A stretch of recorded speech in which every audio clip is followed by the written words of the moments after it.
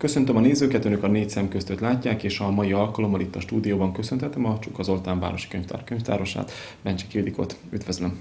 Én is üdvözlöm, és köszöntöm én is a televízió nézőit. Tulajdonképpen most a következő hónapra koncentrálunk, méghozzá az októberre, és itt az október olyan szempontból lényeges, hogy októberben kerül megrendezésre az országos könyvtári napok, és ehhez a felhíváshoz, illetve ehhez a dologhoz csatlakozik a Csuka Zoltán Városi Könyvtár is. Hát több program is van, főként egy családi találkozóra is felhívhatjuk az érdeklődők figyelmét. Mit lehet tudni erről a családi találkozóról, miért tartják ezt fontosnak könyvtári szempontból? Az Országos Könyvtári Napok, e, mint a neve is mondja, egy nagy országos könyvtáros megmozdulás, amely 1,7 héten keresztül lehetőséget nyújt minden település könyvtár, könyvtárának arra, hogy a sajátos eszközeivel felhívja magára a figyelmet. Nálunk itt Érden több program is várja az érdi olvasókat. Az, e, ebből, ebből a sorból emelkedik ki a családosok találkozója, amely most már hagyomány, hagyományosan kerül megrendezésre mindig a végén szombaton, délután kettőtől hatig, de hát persze nem szentírás a hat óra, mint vég, végidőpont. Ez a találkozó kezdetben célzottan a nagycsaládosokat hívta meg vendégségbe, és, és minden egyes alkalommal, így most is, számtalan játékra ad lehetőséget. Vendégül látunk Lufi Bohócot, lesz egy keramikus művész vendégünk, aki, aki ilyen agyag, tehát agyagépítések, építést mutat be a gyerekeknek, helyben agyagozhatnak is a gyerekek. Lesz sóliszt kerámia, papír, különféle papírjátékok, és persze kvízjáték és a végén kisebb-nagyobb nyereményeket is maguknak mondhatnak majd a családok, akik eh, részt vesznek ezen a nagyon gazdag délutáni foglalkozáson.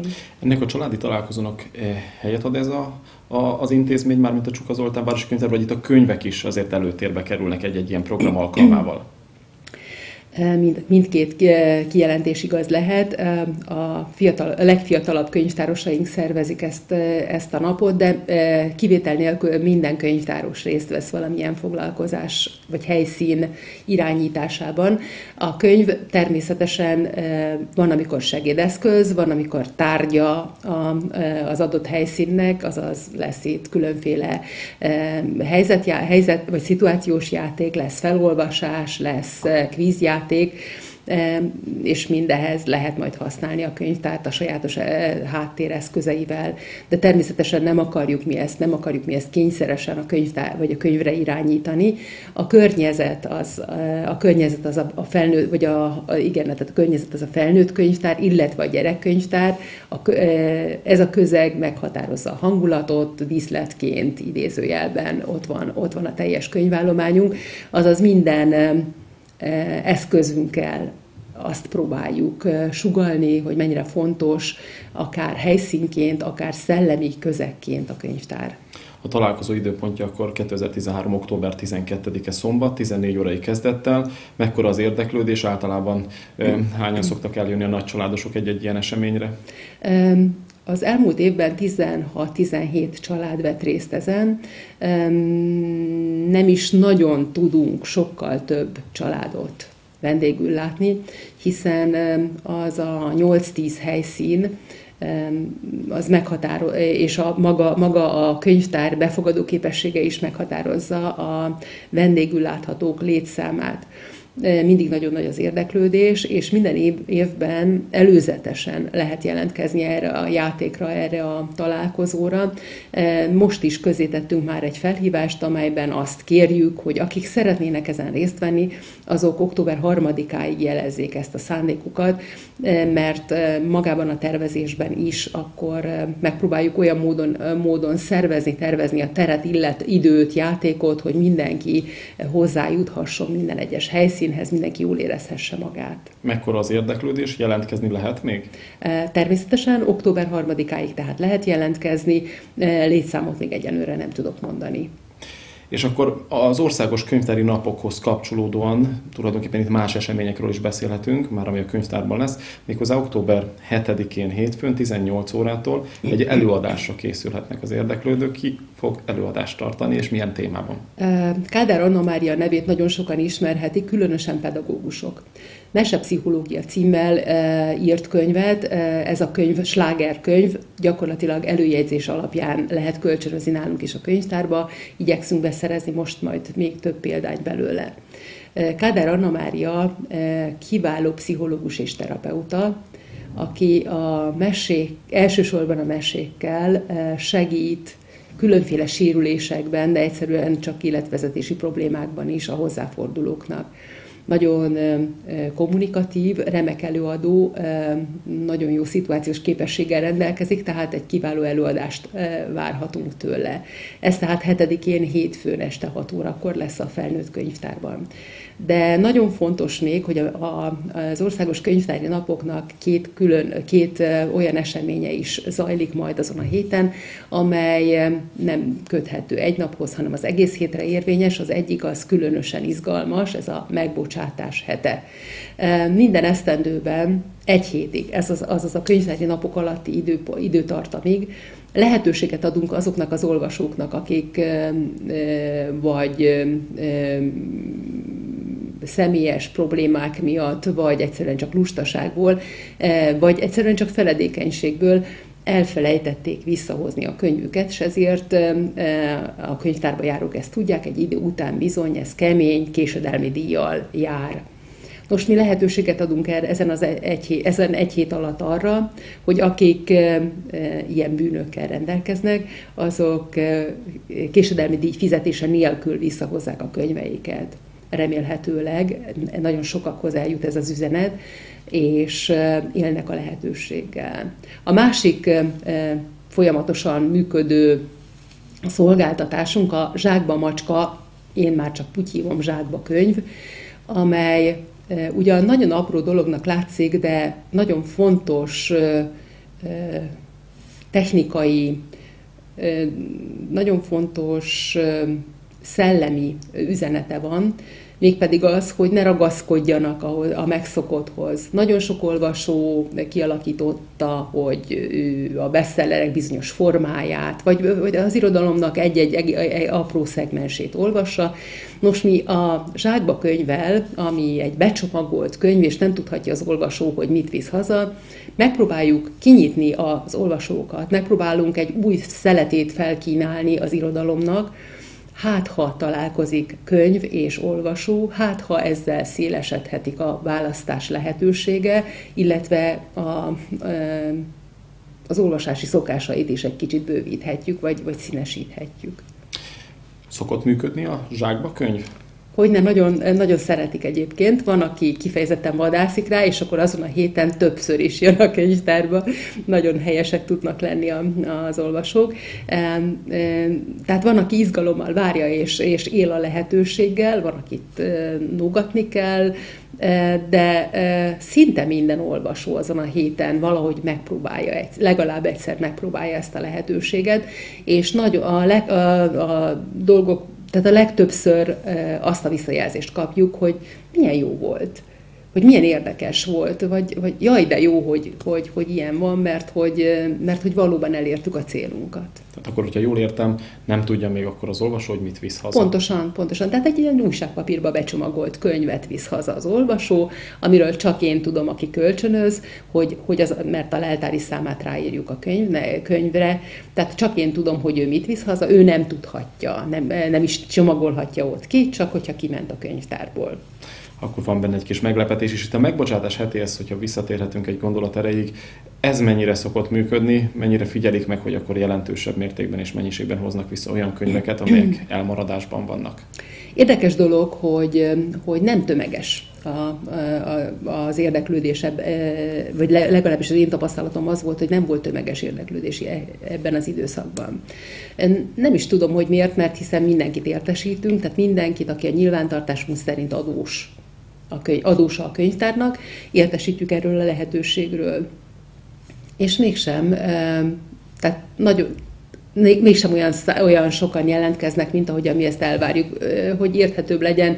A nagyságrend olyan 70-80 ember, akinek komoly kintlevősége van, és ezen a héten általában 10-15 ilyen késedelmes olvasó szokott megjelenni, és élni a lehetőségekkel. Úgy gondolom pedig, hogy sokkal több, tehát mindenki a saját pénztárcáját kímélné meg ezzel, sokkal több olvasó élhetne ezzel a lehetőséggel. Sajnos nem tudom milyen ok miatt, mégsem.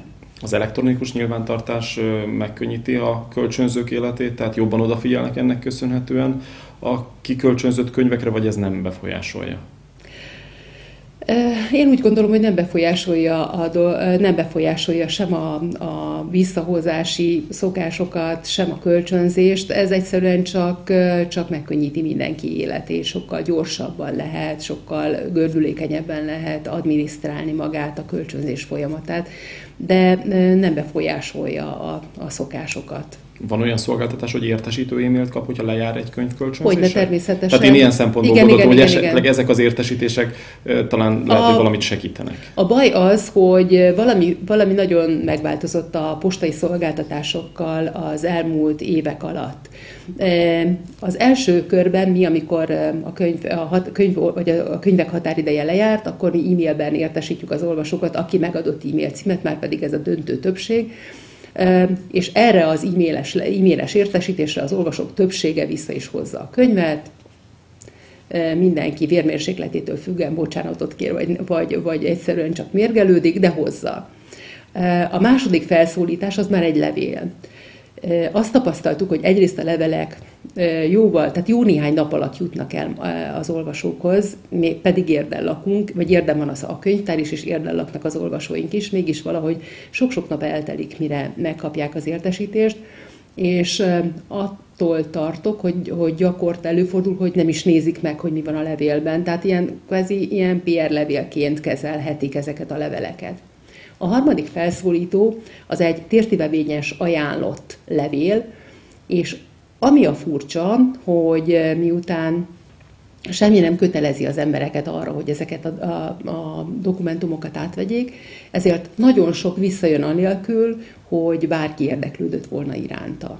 Tehát nem teszik át a felszólításokat. Úgyhogy Természetesen mi rendszeresen értesítjük az olvasóinkat, tehát nem rajtunk múlik az, hogy, hogy késnek. Hát én bízom benne, hogy akkor a megbocsátás hete azért valamilyen szinten hatékony lesz most is, és hát a jövőben is majd. Gyermekkönyvtárral is foglalkozunk, hiszen a gyermekkönyvtárban is nagyon érdekes programokkal várják a legkisebbeket, a legaranyosabb házi kedvencet keresik, az Állatok Világnapja alkalmából. Ez hogyan köthető a könyvtár profiljához? Úgyhogy a gyermekkönyvtárosok megálmodták, hogy mi, vagy ö, megálmodták ezt. Valószínű, hogy nem valószínű, hanem minden olyan, ö, olyan akciót, ö, minden olyan világnapot, minden olyan ö, eseményt, aminek nagy PR, PR-ja van, tehát ami, amibe, amiről az országos médiumok ö, beszélnek, minden ilyen eseményt jó felhasználni a könyvtári eszközökkel, mert a saját ismertségüket, saját ismertségünket és, és jelenlétünket tudjuk ezzel közelebb vinni, vagy, vagy dokumentálni, dokumentálni és közelebb vinni. Fel tudjuk hívni a gyerekek figyelmét a könyvtárra, akár egy ilyen aspektusból is a, az állatok, az állatok szeretete, az állattartás az nagyon fontos a 21. századi gyerekeknek, hiszen egyre többen eltávolodtak ettől a, a falusias életmódtól és az állatok testközeli ismeretétől. Nagyon sokan szeretnének, és nagyon sokan tartanak állatot ezeket a gyerekeket meg lehet fogni, fel lehet hívni, hiszen ők, ők mindent odaadnának adott esetben a saját nyusziért, a kutyáért, a cicáért. Meg lehet, fel lehet kelteni az érdeklődésüket, és természetesen, hogyha mi a könyvtárba hívjuk őket ezzel a felhívással, hogy ugyanis készítsenek fotót a kedvencekről, és küldjék be azokat, versenyeztessék meg ezeket a képeket, és majd ezeket publikáljuk is. Nos, ezek a felhívások lehet, hogy újabb gyerekeket hoznak be, hoznak be a könyvtárba. Ezért is fontos, no meg azért is, hogy az ő érdeklődésüket folyamatosan életbe tartsuk. Október 8-án kedden 14 órától pedig Kreatív Kedd, ez egy rendszeres foglalkozás. Mi a mostani programnak a különlegessége, ha beszélhetünk így. A kollégáim, a gyermekkönyvtárosok a Tök Fesztivál nevet adták ennek a, a kreatív kednek.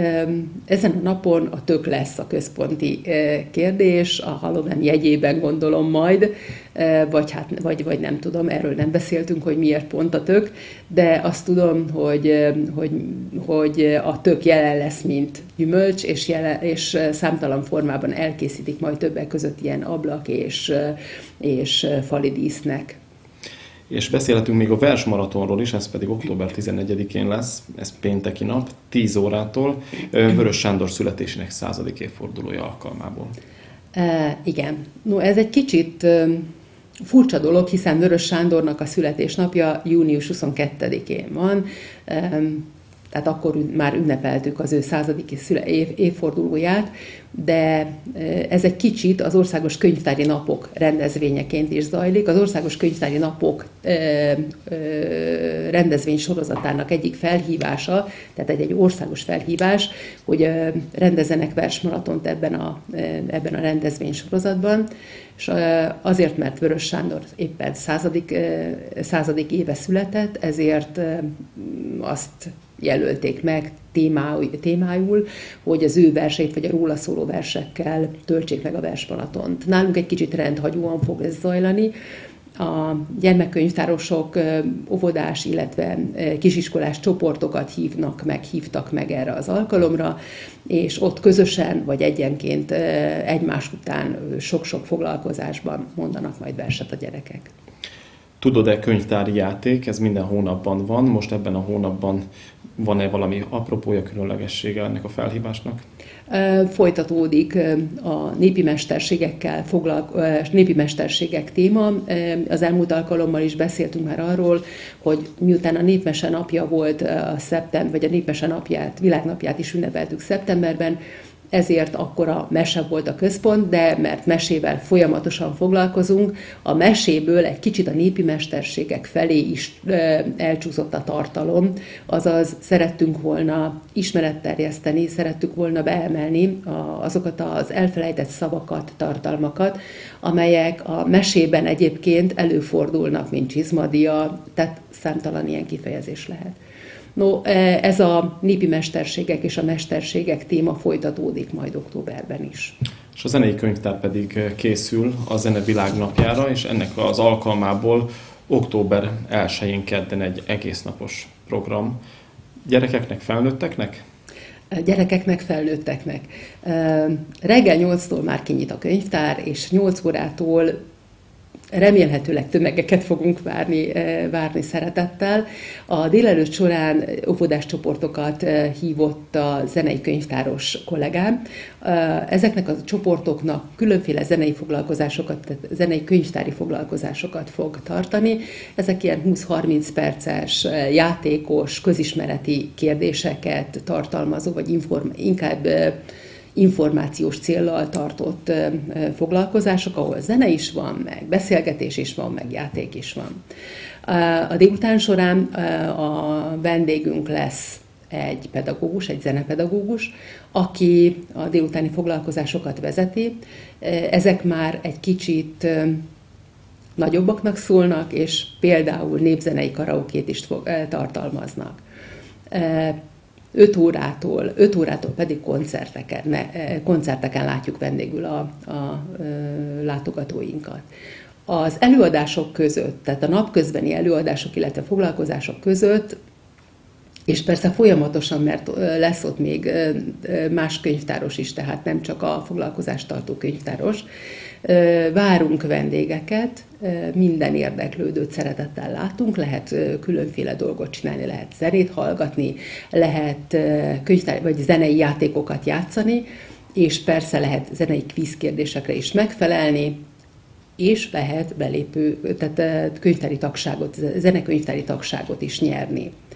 5 órától pedig két koncert van, mint mondtam, az első koncert az Zsidó ének, Zsidó lélek címmel hirdetődött, két nagyszerű fiatal énekesnő zongora kísérettel zsidó dalokat fog énekelni nekünk.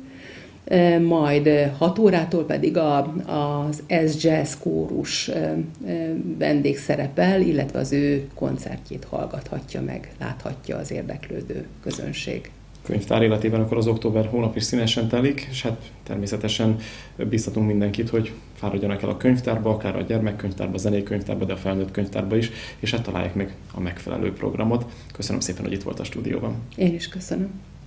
Önöknek pedig köszönöm a figyelmet, a négy szem között látták műsorunkat megtekinthetik a www.érthiradó.hu internetes portálon. Maradjanak velünk a folytatásban, és további kellemes szórakozást kívánok mindenkinek. Viszontlátásra!